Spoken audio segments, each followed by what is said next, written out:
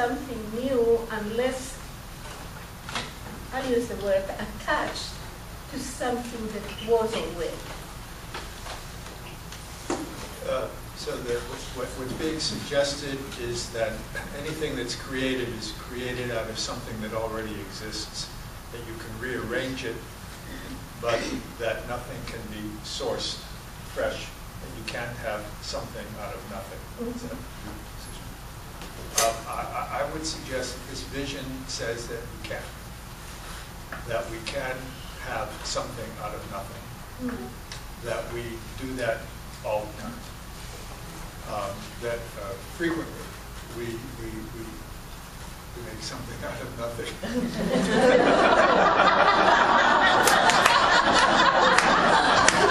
That's the dilemma of our lives. And frequently, frequently, make something out of nothing, and we draw from all the other stuff that we made out of nothing to make more. So just, I I would just consider the possibility that, um, well, it's, it's, it's, it's, uh, it's interesting. So I, um, uh, I ordered this, uh, this uh, book for my, my uh, grandson, the genius, my grandson, the genius. Mine. We all have, we all have. The So- chosen one. The chosen one. So, uh, and I figured before I give it to him, I should at least look at it. And it's, um,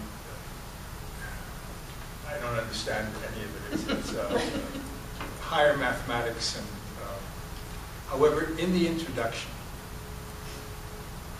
it says that, uh, and this is the only part that I, you know, could get my head around somewhat. It said that creation occurs when space is divided. That the wholeness of space, when, anytime space is divided, something is created out of nothing.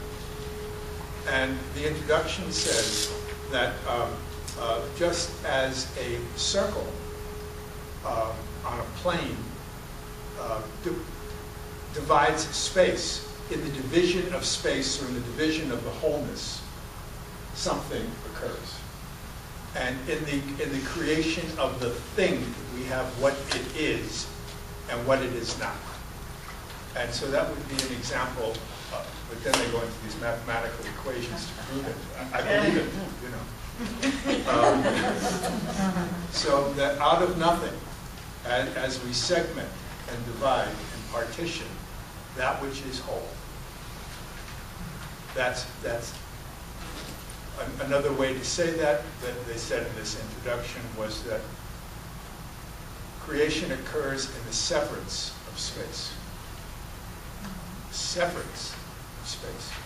And that becomes, that becomes our lived experience, that we're severed from all that is, that we're apart. And then we have a sense from time to time of not belonging, not being connected, being alienated, being isolated, being separate from and different from.